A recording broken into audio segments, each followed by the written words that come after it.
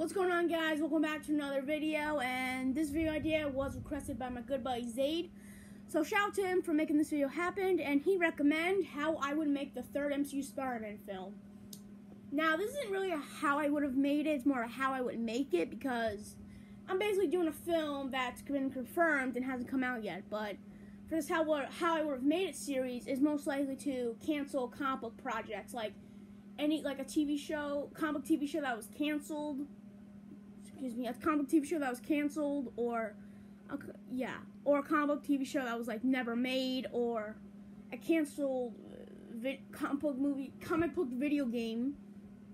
Um, yeah, comic book video game, or a comic video game that was never made, that was in development but just stopped, or canceled comic book movie, or canceled comic book movie sequel. Basically, those six things. So, um, I actually have a little bit of ideas for this film. Um, for this version, I'll try to say I have four things. It, it was originally going to be five, but I'd be like, nah, I don't think the fifth one was necessary. Cause, so I think these four are the best. So I have number one is where I start the film. Number two is the villains. Three story, and number four drama. So we'll get to where I start the film first, but no, no, no, no, but. Um, so where I start the film is I start off how we left left off in Far From Home. So it starts. The film starts with basically the Far From Home end credit, and then we have, and we actually hear Spider-Man say, "What the fuck?" And that's probably the first joke I would be in this movie. And he tries to see, and the world just like looks at him, like everyone's just looking at him, and he sees MJ's gone. I'm calling her MJ because I'm not saying Michelle Jones. I keep. I'm just gonna say her name for short because I'm used to saying that now because everyone calls her MJ these days, even though she's not. So he goes to swing around. He tries to get away from the people. He, they're like throwing stuff at him, like garbage, basically garbage, anything they can find on the floor. And he's trying to get to Aunt May's house. So yeah, he's trying to get. So he's getting to Aunt May, and he goes to Queen. He goes to the place where Aunt May lives, and he sees Happy and Aunt May trying to barricade the doors. And people around Queens are like throwing stuff at their house. They're like, like um, basically vandalism. They're, like breaking like the ruin the garden, breaking the gnomes. Peter webs up um all the neighbors, and he's like saying, "I'm sorry, I didn't want to do this because they were breaking out Aunt May's house." So he gets in and tells Aunt May and Happy we need to go, and Happy said that he brought a car and Happy says this car can fly, so he gets um, him, Aunt May, and Peter into the car, and it starts to fly, and the people are like throwing stuff at it and trying to get, and a brick actually breaks one of the windows, and Happy gets on fast mode where it drives really fast, so and and Peter's and Happy's like wondering what the hell happened, and and he's like Mysterio exposed me, and and they're both May and Happy are like, "What?" And Peter explains what happened, and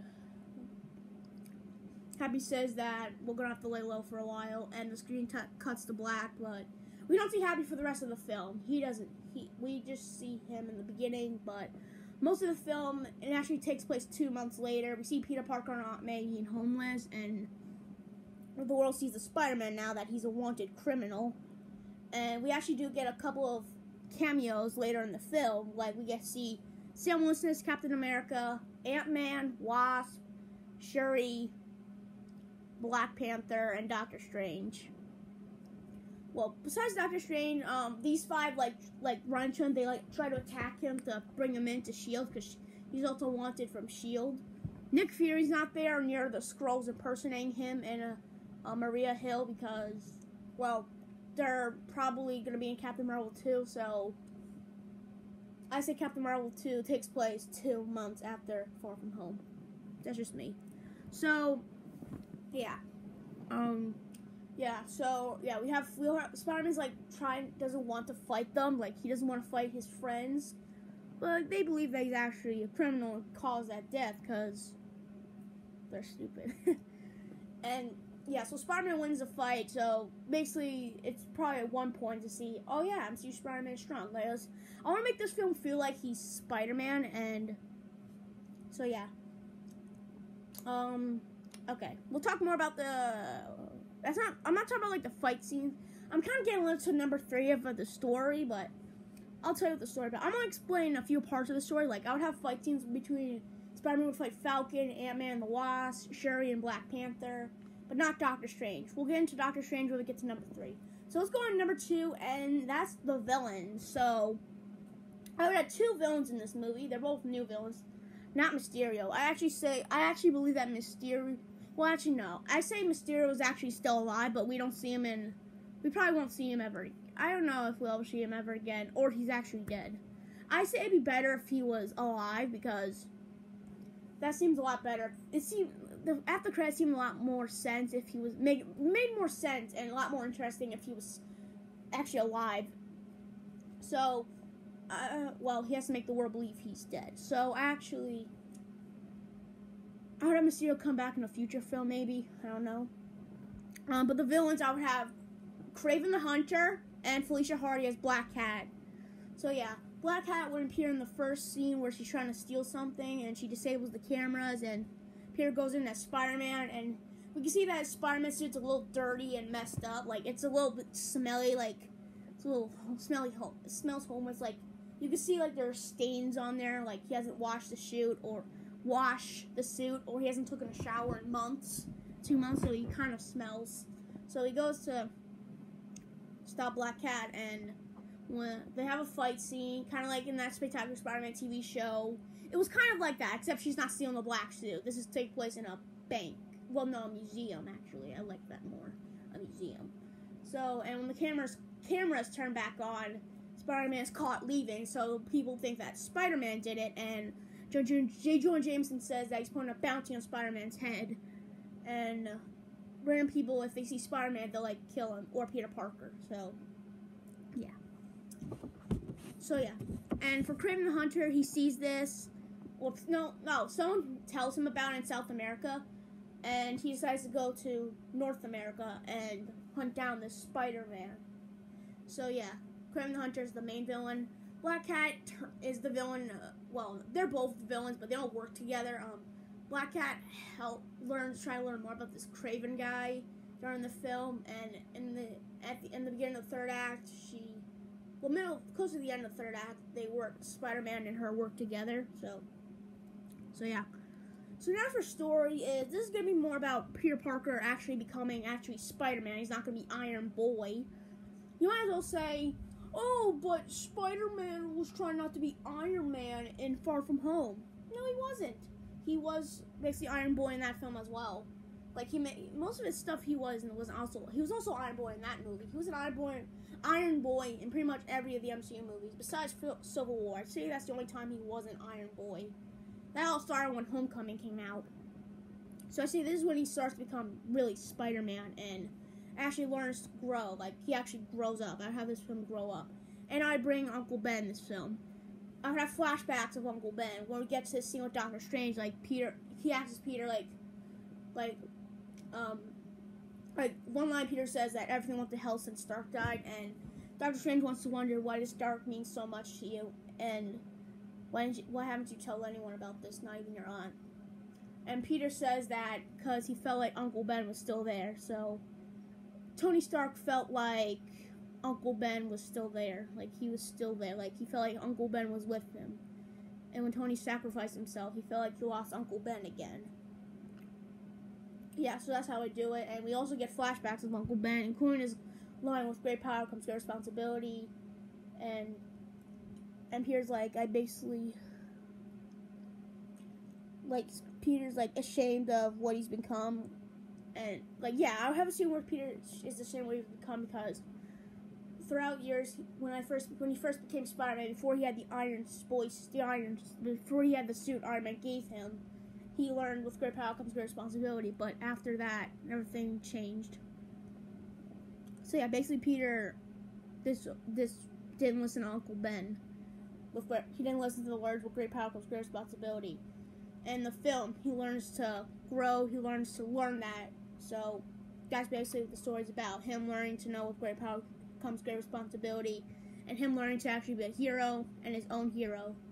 So, now for number four is the drama. Um, the drama I would have one with Michelle Jones. Hey, I said Michelle jo- Michelle Jones now instead of MJ. So the first one is, oh, and there's only one scene with Michelle Jones, and we'll never see her again in this MCU series. This is gonna be the last one with her. She decides to move away from the place she wants called home. She's moving away from America and going to California. She says that she can never be with Peter anymore, be with Peter because she's gonna put. She says like you're gonna put all of our lives in danger, the people who are close to you, and we can't be friends anymore, Peter. So basically, she leaves, not even saying goodbye to Peter, and she leaves. She's gone. Same with Ned. Well, Ned still stays, but he's like, he calls Peter saying, well, he talks to Peter in person saying, like, I don't want to be your friend anymore, Peter. Like, he says the same stuff Michelle said, like, you're going to put us in danger. Like, basically, all of his friends leave him. He's, Peter's all alone, and all he has is Aunt May. And for one scene for Flash Thompson, he doesn't say this to Peter, but I have a little small cameo for him saying, like, he's doing a live stream, because that's what he does now. Um, he says like he can't believe that Peter Parker is Spider Man, the kid he always teased and messed with, and uh, yeah, basically the kid he always teased and messed with is his hero. Like he says like, oh, I feel ashamed, and yeah, so basically all Peter has left is Aunt May. He did, uh, but he, but um, so yeah. Basically, he has Aunt May. But in the end of the film, he has another new friend, Black Felicia Hardy is Black Cat. So they're friends, and they kind of, well, in the film we saw we well we I wouldn't say they're starting to get love each other because this may be the first time interacting on the big screen. If this film actually, if this idea actually to, happens to be made, which probably won't, um, but yeah, I would have probably um, black, not yeah, black I've had a Black Cat flirt with Spider Man, but Peter's like, oh, I'm not interesting. Interest interested. So basically, Peter. So basically, Peter now has two people who care about him: Aunt May and Black Cat, Felicia Hardy. And in this film, Peter, people still believe that Spider Man's a menace, and he, Black Cat tells him, "What are you gonna do?" And he says, "I'll keep find, I'll keep going until I find Mysterio." And to make people know that he set this all up. So basically, we don't get a final swing, we don't get a happy ending. Basically, we get an ending. Well, I wouldn't say ha- we sort of get a happy ending, but not one for Peter. Like him and Aunt May just keep going on the run. Basically, that's how it ends the film. They just keep going. They keep they're on the run. And Black, as Peter said, he'll see Black Cat again once this is all over. So basically, it's leading to a fourth film with I say Mysterio, Vulture, Mysterio, Vulture, Shocker, and Scorpion. No, not Scorpion. Maybe I'll have maybe. Okay, maybe Scorpion, and I. No, no, I think Vulture, Mysterio, and Morbius. In case that Morbius movie is gonna be connected to the MCU. So basically, three villains for the next film. So yeah, I know it's not the be- eh. excuse me. I know it's not the best Spider-Man story for a movie, but I think this is the best Spider-Man story for the MCU, like the best MCU version Spider-Man film. Like, let me know. Do you guys think it's the best MCU Spider-Man film if this ever happened? Or do you think, oh no, the ones that end up getting made were actually better? Or do you think, oh no, the Spider-Man Homecoming, Spider-Man Far From Home sucked. I like this version more. This should have been Spider-Man in the MCU because I think I would I like this version more. I think this is what Spider-Man should have been in the MCU. Well, not really, but this this makes me how how I'd fix him in the MCU. I think this is better like this. Like he never really learned with great power comes great responsibility until when Iron Man came in his life. So basically, he's starting to grow and he starts to remember with great power comes great responsibility. That's basically what this film was about. He's remembering of who he really is, not just an Iron Man sidekick. He's a he's a kid with a good heart. That's basically what Spider-Man is, a kid with a good heart. So yeah, that's how it'd be the film. So for me, I'd probably give this film an eight, if or nine. I know it's basically my own, basically me talking about my own thing, but I do this a lot. But I think I would have liked this a lot. So, but that's probably not what we're gonna get. Um, but I hope they do something interesting with the live action. Well, not. Wait, why did I say live action? Um, with the Spider-Man identity revealed to the world. I hope it's not played off as a joke. I hope it's actually taken seriously and it's a big deal in the next film because I want to see what happens. This basically think it's basically also how I predict what's gonna happen. So basically, that's why I had these ideas. Well, someone else made a video of how they would make the third Spider-Man film, um, and I like their idea better. I don't remember the channel name, but their idea was a lot better. For their film, they had the Chameleon as the villain, but for this, I wanted Kraven the Hunter. Basically, I'd like to see their version more than mine, but I would still love to see if my version gets some inspiration. But I bet Disney's not going to be like that. But I love to see if this ever happened, because I would have loved if this was an actual film. I think this would have been good. So, yeah. Let me know what you think of it, and I'm out. Excelsior.